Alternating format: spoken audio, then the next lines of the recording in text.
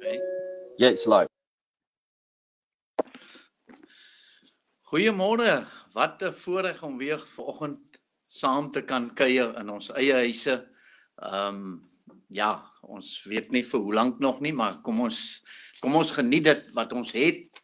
Uh die media wat ons het vanoggend, kom ons geniet dit en en ons wees deel daarvan.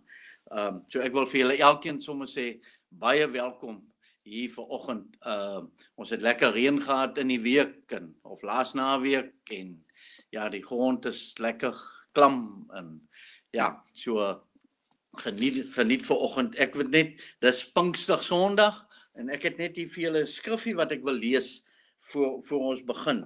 Uh, in Johannes 14 vers 16 wat sê en ek sal die Vader bid en hy sal julle 'n ander trooster gee om by julle te bly tot in ewigheid die gees van die waarheid wat die wêreld nie kan ontvang nie omdat dit hom nie sien en hom nie ken nie. Maar julle ken hom omdat hy by julle bly en in julle sal wees.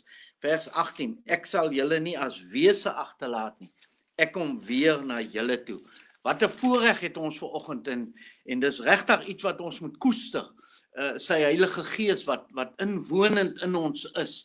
En dan kom hy nie net om te kom inwoon nie hy kom om in sy volheid en sy krag en in al sy gawes kom hy en hy kom woon in ons en ons is regtig bevoorreg uh om Pinkster te kan wees en Pinkster te kan vier. Ehm um, maar ja, dis nie ek kan nie preek nie. Ek noem dit maar net vir julle want dit is kosbaar die woord van die Here. Kom ons bid net saam. Dankie Hemelse Vader dat ons ver oggend so saam kan wees. Dankie vir u uh dat ons gaan saam sing.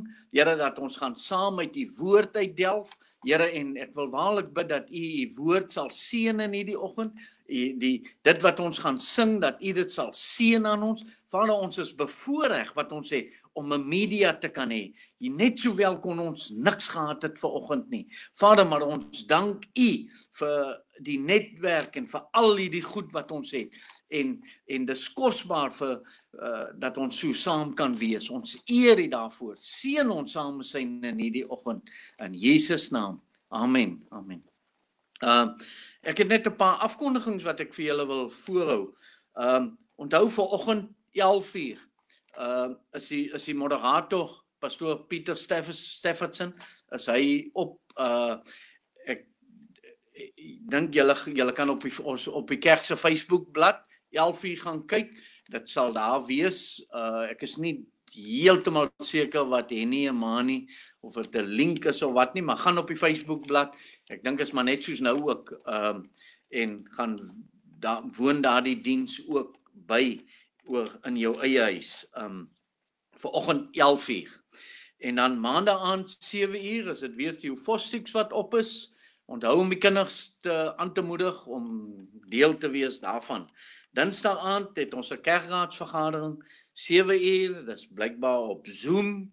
Elkeen in ons eie huis. So uh, onthou kerkraad en dan wil ek net vir julle noem terwyl ons nou ons het nou vergadering die week, maar julle almal is seker bewus daarvan dat die kerke kan oopmaak. Ehm uh, ons self is nog baie in die middel. Ons ons het nog nie antwoorde vir julle nie. Ons wag vir die moderateur. Dis nou uh ons ons kerkleiers by hoofkantoor vir insette en wat hulle voorstel en ons onderwerp ons ook aan hulle leierskap want die Here het hulle ook gestel bo ons. So ehm um, ons kry antwoorde by hulle of raad by hulle en dan sal ons na Dinsdag aand se kerkraadsvergadering sal ons vir julle sê uh eh, DG wat ons ook al besluit het. Dis dis dis moeilik op hierdie stadium. Ons weet nie of ons die kerke moet oopmaak nie. Ons ons ons het nie die antwoorde op hierdie stadium nie. Uh maar ek wil vir jou ook vra. Jy is baie welkom om jou insette te lewer wat wil wat sal jy wil voorstel? Watse raad het jy? Ehm um, en stuur dit op 'n WhatsApp vir praat met hom of met een van ons leiers uh en ons wil graag hoor wat wat is jou opinie ook oor dit. Ehm um, so ehm um, ja en dan woensdag aand is dit weer 7 uur het ons weer ons ehm um, is pastoor Renier Pelser, dis ons sekretaris-generaal van hoofkantoor. Hy en Henny gaan ehm um, 'n gesprek voer met ons of hulle ons ook ehm um, en en dit gaan oor basies oor die kerk in lockdown. Wat is my betrokkeheid by die kerk nou hier in lockdown waar ek sit in my eie huis? Uh al hierdie praktiese dinge. So skakel in Woensdae aand 7 uur. En dan Vrydag aand 7 uur is dit weer die jeug wat uh vir ons 'n uitsending gee. So en dan wil ek ook vir julle aanmoedig as enige een van julle dalk iets wil dalk 'n getuienis het of 'n woord of iets wat julle wil deel met ons. Praat met Henny en en en ons wil graag vir jou die geleentheid gee om ook op een of ander aand of oggend of wat ook al om om dit te kan deel wat wat jy graag met ons wil deel. Um ek self uh het het glo ek het ek het ek 'n amazing getuienis wat die Here vir my gedoen het en dit gaan oor uh en dit was net gister gewees. Um en ek wil dit graag met julle deel eendag, maar al wag ek tot na die lockdown, is dit ook in in die gemeente, maar uh en ek glo dit gaan om betrokke te wees by 'n gemeente en nie alleen te staan nie. En wat die Here vir my net dinge oopgemaak het en uh ja so maar dit is vir 'n ander dag. So as jy iets het wat jy wil deel wees welkom. Praat met Henny en ons wil jou graag gebruik. Dan is daar net 'n paar verjaarsdae. Um as 'n hele paar wat verjaar. Vandag is dit uh Anna Elisa Bettini en Victor Engelke wat vir jaar baie seën vir hulle vandag met hulle verjaarsdag. Ek het nou ongelukkig nie 'n 'n chocolate of 'n happy birthday song vir julle nie, maar geniet dit. En die ander wat verjaar hierdie week, Burger Erasmus vir jaar maandag, Matthew en Erik Muller woensdag en Jan Malan Viljoen, Mariana Manning en Matthew en Erika Bason se huweliksherdenking Hulle is almal Saterdag. Baie seëninge vir julle met julle verjaarsdag. Mag die Here vir julle ryklik seën en kom ons bid net gou saam. Dankie Hemelse Vader dat ons sommer hierdie mense wat verjaar kan opdra nie. Vader, ons bid vir u Heilige Gees ondersteuning en teenwoordigheid in hulle lewens. Dankie dat u hulle sal lei in die volle waarheid. Here seën hulle met hulle verjaarsdag en dankie vir nog 'n jaar wat u hulle gespaar het en ons eer u daarvoor in Jesus naam. Amen. Amen. Ehm um, ek gaan oog gee vir Winnen en Lisa en ons gaan twee liedere saam sing tot eer van sy naam.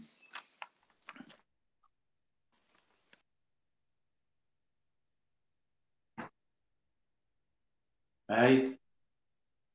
Môre seën vir julle almal. Ehm um, ons gaan ek en Lisa gaan graag twee songs vir julle doen. Ons gaan doen There's a Wind Blowing all across the land and awaken my soul come wake en ons begin sommer met uh there's there's a wind blowing.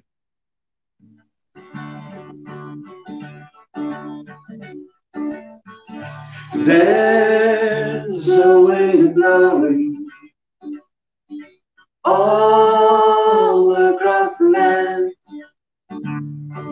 Fragrant breeze of heaven again. Don't know where it comes from.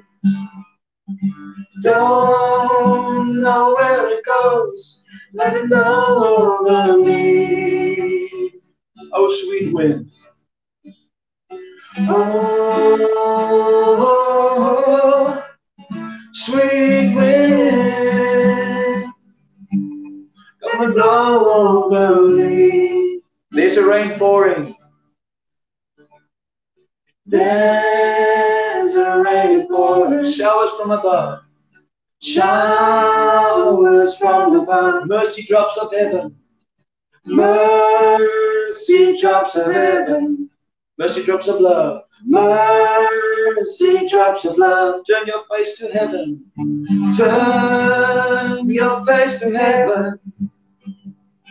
Let the waters pour over me. Oh, oh,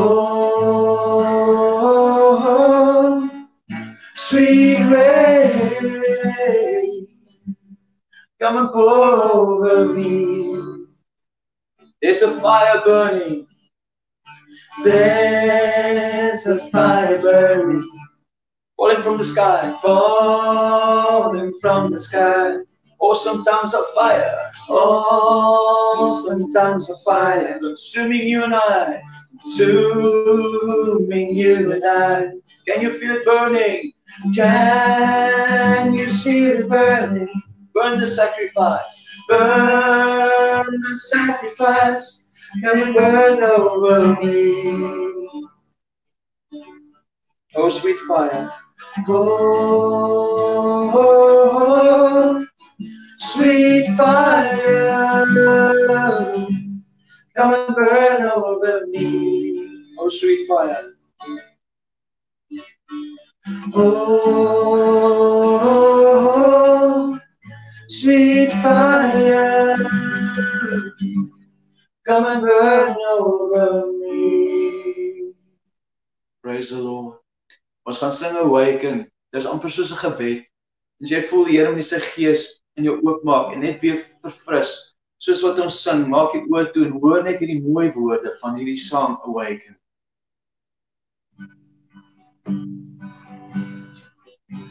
Awaken my soul, come away.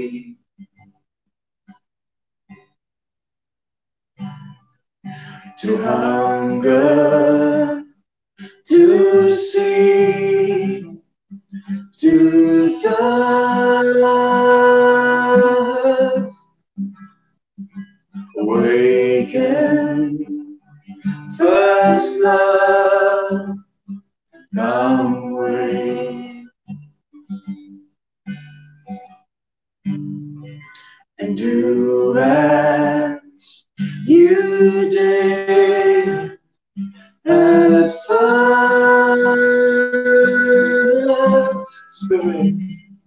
Spirit, of the living God, come fall afresh on me.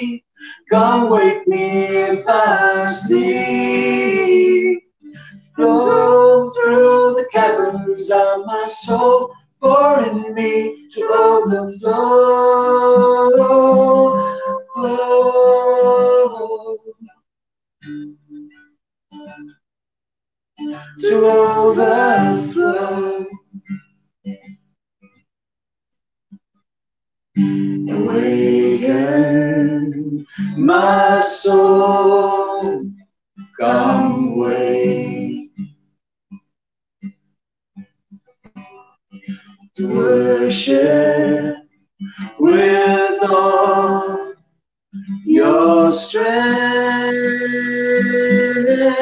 Spirit, Spirit of the living God, come fall fresh on me. Come wake me if I sleep.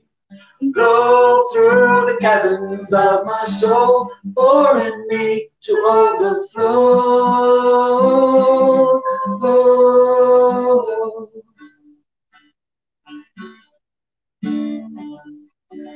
Come and fill this place. Fill this place. Yes. Let your glory now invade. Come and fill this place. Come and fill this place. Let your glory, let your glory now invade. Spirit, Spirit of the living God, come fall fresh on me. Come wake me if I sleep. Blow through the caverns of my soul, pour in me to overflow.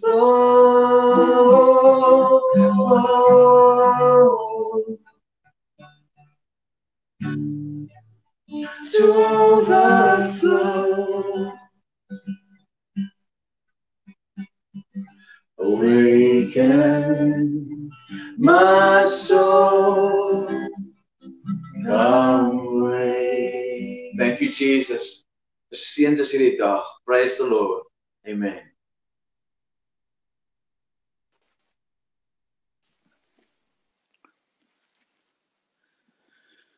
Baie dankie Winnen en Lisa. Ehm um, en ek wil net vir julle ook net baie dankie sê vir julle getroue bydraes wat julle gee vir ons vir die gemeente en vir vir die Operation Compassion. Ehm um, dis 'n voorreg wat ons het om te kan gee. Ek weet dis 'n moeilike tyd waarin ons is. Almal kry nie die salaris meer wat hulle gekry het nie. Party sit sonder werk en goed, maar die Here voorsien nogtans en die Here gebruik nog mense. Ek kan net vir julle uh so ek wil vir julle baie dankie sê vir dit wat julle gee nogtans met die lockdown. Uh mag die Here vir julle ryklik seën. Um ons het die twee rekeninge, die een vir die kerk vir ons offergawe en tiendes en as jy vir die susters wil gee of vir die jeug of ehm um, die fostics doen dit so dui net aan op 'n e-mail of iets vir Dedery ehm um, waarvoor vir waarvoor die geld is. Ehm um, so Operation Compassion het ook hulle eie rekening.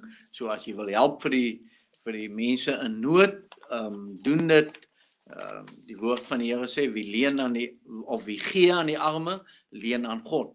Ehm um, en dan dan wil ek net vir julle 'n uh, skrifgie gee in 2 Korintiërs 9 wat sê vers 6 maar dink daaraan wie spaarsaamlik saai sal ook spaarsaamlik maai. En wie volop saai sal ook volop maai. Laat elkeen gee soos hy hom in sy hart voorneem. Nie met droefheid of uit dwang nie want God het 'n blymoedige gewer lief gee met 'n blymoedigheid en en ervaar die seën op die saad wat jy in die grond gesit het wat jy gesaai het. So ehm uh, ek ek wil ek wil vir julle sê onthou ons gee dit vir die gemeente, ons gee dit vir die kerk, maar eintlik gee ons dit vir die vir die werk van die Here want alles van daai geld gaan vir die werk van die Here en maak nie saak wie dit kry nie, dit is iemand wat werk vir die Here. So ehm um, kom ons help en ons ondersteun ook in daai gebied. So, kom ons bid net saam. Dankie Hemelse Vader dat ons vir u kan dankie sê vir dit wat wat ingekom het alreeds. Vader, ons staan verbaas want ons sien net hoe u voorsien. Here, as ons maar net dink aan aan al die verskillende vertakkings waar daar geld ingesit word, waar daar nood is, Here, kan ons maar net sê, hoe groot is u nie. Here, en elke keer het u voorsien in dit wat nodig is. Ons eer U daarvoor. Seën elkeen wat gee, bless hulle my Vader en ons gee aan U die lof en die eer. Here seën ook vir elkeen wat werk met hierdie finansies. Here gee hulle ook die nodige wysheid en insig om dit te bestuur soos U dit wil hê. En ons gee aan U die lof en die eer in Jesus naam. Amen. Amen. Mag julle 'n mooi dag hê. Ons gaan nou luister na die woord van die Here wat hier nie vir ons gaan bring. Seëninge vir julle.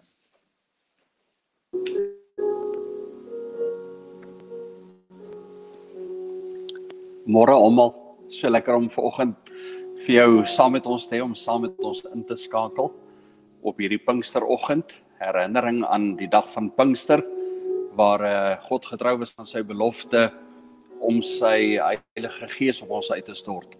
Uh baie dankie vir Win en Elisa Klot, baie dankie, dankie vir u wat by ons ingeskakel het. Dis lekker om vanoggend saam met julle te verkeer. Ons is nog afwagtend om te sien oor volgende Sondag wat gaan gebeur. En uh kom ons uh soos Lot gevra het, maak julle voorlegging. Gee julle nou graag almal in gedagte hou. Volgend is uh Pinkster en uh voordat ek beginne, lees ek vir ons saam uit die woord van die Here uit Handelinge 1 vanaf vers 4.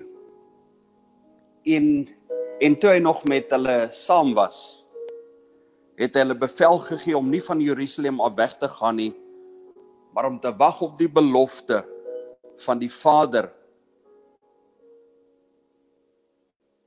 Want Johannes het wel met water gedoop, maar julle sal met die Heilige Gees gedoop word, nie lank na hierdie dae nie. Die wat bymekaar gekom het, vra hom toe en sê: "Here, gaan U in hierdie tyd die koninkryk vir Israel weer oprig?" En hy antwoord hulle, hulle Dit kom julle nie toe om die tye of die geleenthede te weet wat die Vader deur sy eie mag bepaal het nie. Maar julle sal krag ontvang wanneer die Heilige Gees oor julle kom. En julle sal my getuies wees in Jerusalem sowel as die hele Judea en Samaria en tot aan die uiterste van die van die aarde. En nadat hy dit gesê het, is hy opgeneem terwyl hulle dit sien en 'n wolk het hom voor hulle oë weggeneem. Mag die Here sy woord tot ons seën. Skus ek wil net hierso 'n veranderingkie maak iets wat nou hier vir my net hierdie ding in die pad het kry. Uh vanoggend het ek nie vir julle 'n preek nie.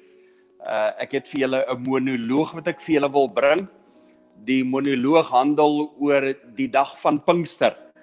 Uh dit gaan so oor 'n net 'n verduideliking wat daardie dag gebeur het, net so 'n inlewing sodat jy dalk deel kan ervaar van daardie eerste dag van Pinkster. Jy weet baie keer as ons die woord van die Here lees, dan lees ons net die woord van die Here, maar ons moet nie net die woord van die Here lees nie. Ons moet die woord van die Here ook beleef. So vanoggend wil ek vir julle so 'n uh, 'n belewenis gee van daardie eerste dag van Pinkster toe Pinkster toe die Heilige Gees op die kerk uitgestort is. Ah, Pinkster. Jy weet mense vra my nog so af en toe oor wat daardie dag gebeur het. Maar weet jy vir my voel dit asof dit net gister gewees het. Alhoewel dit nou al byna 20 jaar terug gebeur het. Jy weet geskiedenis was daardie dag was gemaak was die einde van 'n ou era gewees en 'n inleiding tot 'n nuwe ene. En ek ek was daar gewees. Jy weet ek was toe maar nog net so wat 19 jaar oud gewees. En ek het al die pad van Galilea gekom uh om die Paasfees in Jerusalem te vier. Wat 'n groot en wonderlike viering is dit nie vir ons Jode om te herdenk hoe God ons uit Egipte uitgelei het nie dit het dit het alles gebeur die jaar toe ons Here Jesus gekruisig was. Hy was ook mos 'n Galileer gewees. Ek kan onthou nee uh nee. Ons ons kan onthou. Uh ons was so gebroken gewees. Na sy dood was ek nie eens huis toe gewees nie. Saam met sy alle ander volgers was ons so bang en En ons was in skuilings gewees. Ons was so verskrik gewees na sy kruisiging. En toe en toe op daardie heerlike Sondag kom maar nuus dat hy uit die dode uit opgestaan het. En toe bly ek sommer in die stad om te sien wat gebeur. Weet jy, dit was 'n werklike, dit was 'n onbeskryflike tyd gewees. Weet Jesus het nog vir so 'n paar weke aan sy disippels en aan ander het hy verskyn Daarna het hy opgevaar in die hemel. Weer is nog alles so is nog alles so helder in my gedagtes, so in my denke. Is nog so ingeprent. Die apostels het gesê ons moet in die stad bly en ons moet wag. Hulle het iets gesê van krag, getuienis en die Heilige Gees. So wel. Toe wag ons maar. Altesaam seker so 120 van ons bymekaar. Daar wag ons toe. Kom toe oggende, middag, aande by mekaar. Ons bid, ons lees die geskrifte. Praat oor wat gebeur het en wat ons moontlik kan verwag.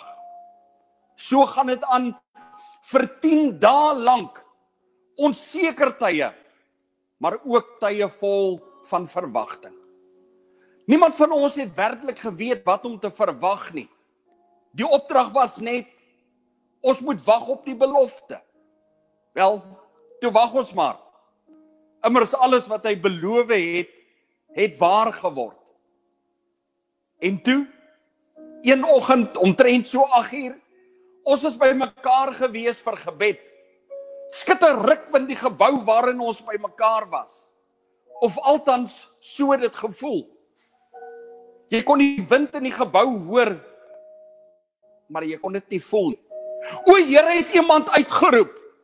En toe Toe kom die vlamme. Sulke dansende vlamme in die lug bo ons. Here Almagtig het 'n ander ene geskree. Petrus het hard begine bid. Ander het saam hard begine bid saam met hom. Was werklik aanswekkend geweest. As ek nou daaraan dink. Wind wat nie waai nie en vlamme vlamme wat nie brand nie. Net soos die glorie van God toe hy Moses op die berg ontmoet het. Oral oor die kamer het vlamme verdeel en bo elkeen se kop begine hang. Brandend. Dit het amper gelyk of die broers en susters kon ontplof soos wat 'n vreugde en 'n blydskap hulle gevul het. Trane het uit hulle oë uitgestroom en lofprysing en aanbidding het uit hulle monde gevloei. Hande was in die lug, mense het gelag, mense het gehuil. Van hulle het gekniel in eerbied terwyl ander op hulle tone gestaan het. Dat dit lyk asof hulle na God toe uitreik. En toe toe kom raak 'n vlam aan my. En ek voel dit. Ek kan dit nie werklik verduidelik nie. Buiten om dit te beskryf asof asof ek oorvul is met God. Gelukkig, selfs duiselig, effens dronk tot barstes toe vol van vreugde. Ek het so vol gevoel. Die klanke rondom my was alles was was wonderlik geweest. Dit was onbeskryflik geweest. Eers was dit die geluid van die gebou wat klink asof dit deur die wind geskit word. Toe was daar die geluid van 'n windstorm gewees. En toe toe hoor jy die gemompel van mense stemme. Sommige sag, ander weer hard en baie intens. Maar dit was nie Grieks of Aramees nie. Dit het geklink soos soos ander vreemde tale wat wat kom uit ons monde. Kragtige, vreugdevolle woorde. Maar anders. Ons het uitbeweeg na die vierkant. Aan die buitekant van die kamer waarin ons by mekaar was.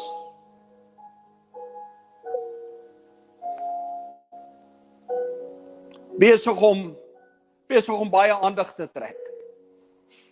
Julle moet verstaan dat Paasfees seker die grootste feesdag vir die Jode is. En gevolglik was daar geweldig baie pelgrims en reisigers van oor die hele wêreld op daardie stadium in Jerusalem. Ek weet nie wat die woorde beteken het wat oor my lippe gerol het nie. Maar dit het so goed gevoel. Dit het gevoel of my Dit het gevoel of ek my stem aan God leen terwyl ek uitdrukking gee aan die vreugde en die volheid wat hier binne in my was. Soos wat ek daar in my eie klein wêreltjie gestaan en gepraat het, het rosse met mense rondom my begine saamdrom. Van hulle het weggehardloop om by ander groepe aan te sluit of om ander te gaan haal om na hulle te luister. Binnekort het dit gevoel of daar honderde mense rondom my rondom my saamgedrom het. En so kom ander disippels wat ook borrelend gestaan en gepraat het, elkeen in 'n vreemde taal. Uiteindelik het dit gevoel asof die woorde opdroog. En ek het net daar gestaan met vreugde op my gesig. Ek was uit asem gewees. My binneste het gebewe. Ek was so opgewonde gewees. Ek het so vol, so versadig gevoel. Iemand het na my geroep in 'n taal wat ek nie verstaan het nie. Wat? Het ek in Grieks uitgeroep? Almal verstaan tog 'n bietjie Grieks. Moenie ophou nie, sê hy. Moenie ophou wat nie, vra ek. Moenie ophou om te vertel van al hierdie mooi en wonderlike dinge van God nie. Nog nooit het ons so iets gehoor in Kappadosie nie. Kappadosie? Het ek gevra. Ja, is jy nie van Kappadosie soos die res van ons nie?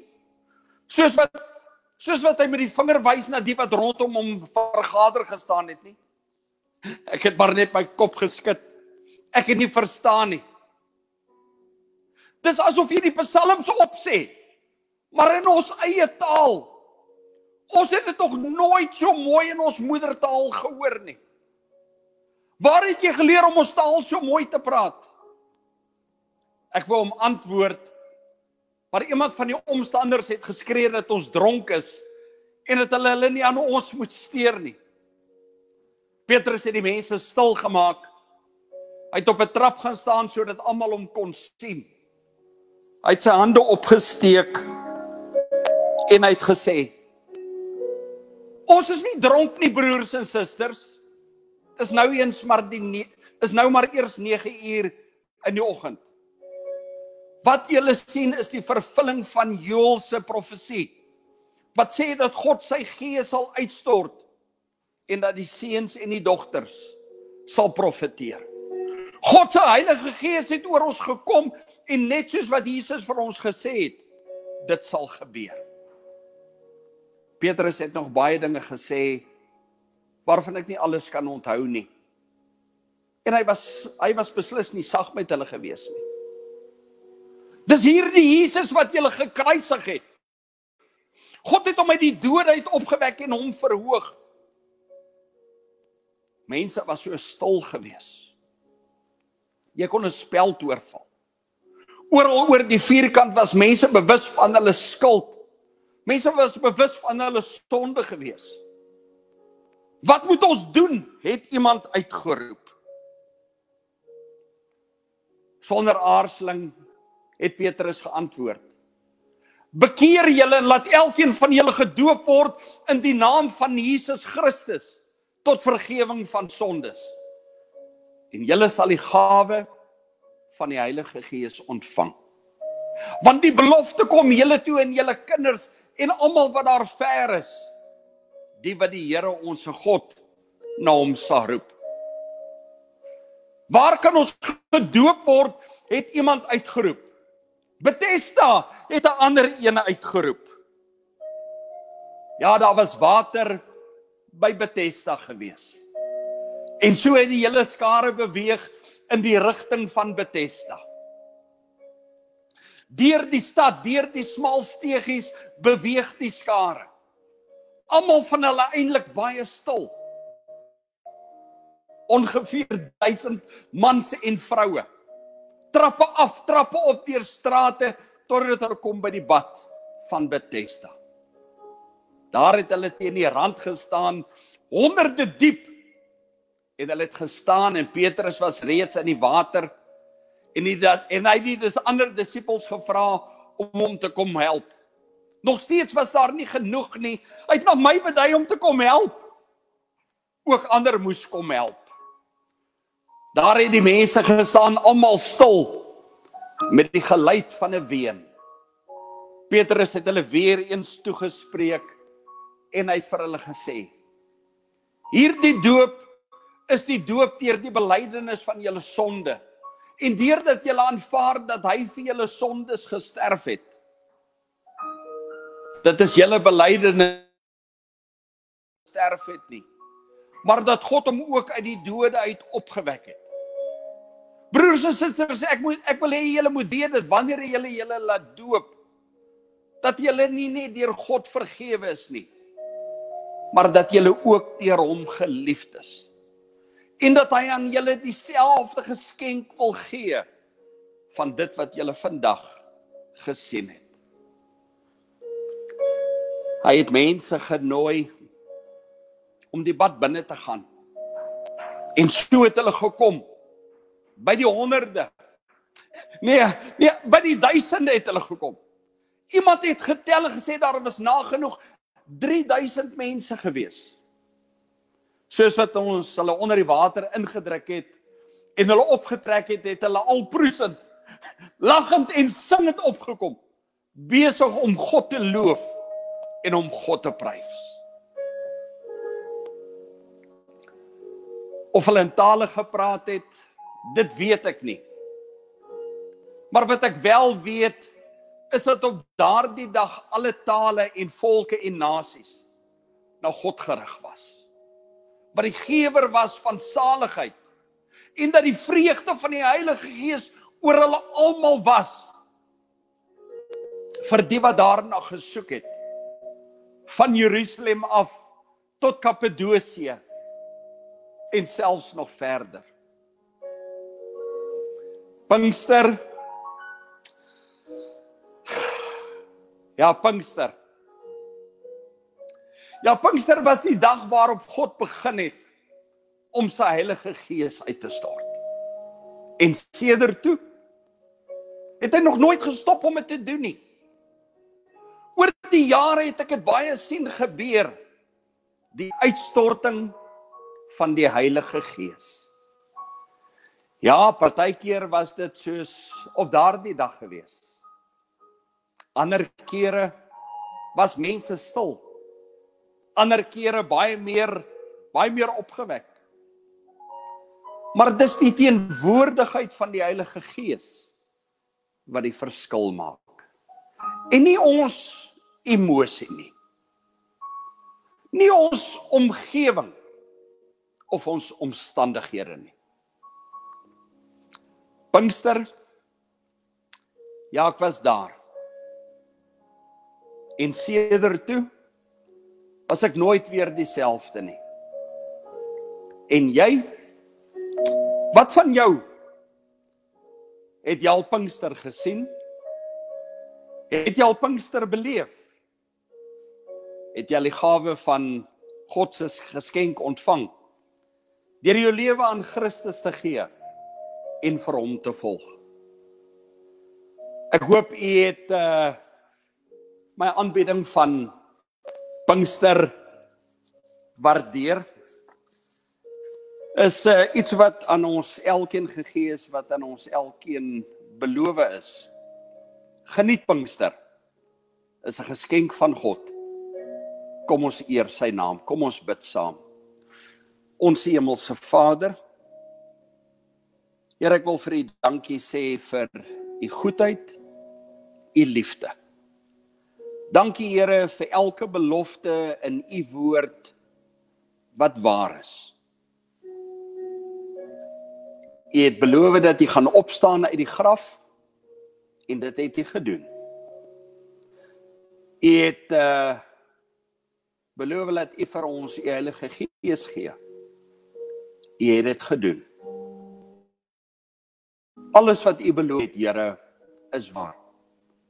U het vir ons gesê u los ons nie as wiese agter nie. Dankie dat ons dit weet en dat dit kan beleef. Here, ek bid vir u gemeente. Ek bid vir u kerk, Here, dat hulle sal staan in die krag van God deur die werking van die Heilige Gees ondersteun met u woord.